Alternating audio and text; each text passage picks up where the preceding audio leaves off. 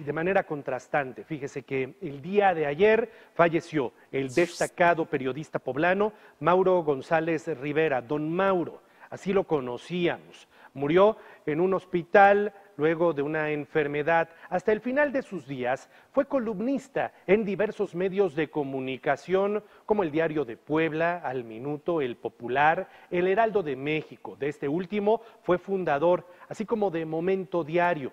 Además de ser una referencia del periodismo en Puebla, fue director de comunicación social del gobierno del estado durante las administraciones de los exgobernadores Guillermo Jiménez Morales y Melquiades Morales Flores medios de comunicación, así como diversas personalidades de la política poblana, como el gobernador Miguel Barbosa, han externado sus condolencias a su familia y han lamentado su pérdida. Descanse en paz, don Mauro González Rivera, un hombre que siempre, siempre tenía una sonrisa en la boca.